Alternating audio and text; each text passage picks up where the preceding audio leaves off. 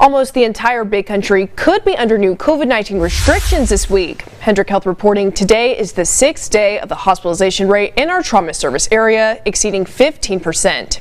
If this rate remains for seven days in a row, bars will be forced to close and businesses will have to reduce capacity according, according to the Governor Abbott's October executive order. Hendrick Health still has no ICU beds available. And in Taylor County, there are 57 new positive COVID-19 cases today, this with 97 recoveries and 120 people remain hospitalized and over 2,700 cases remain active.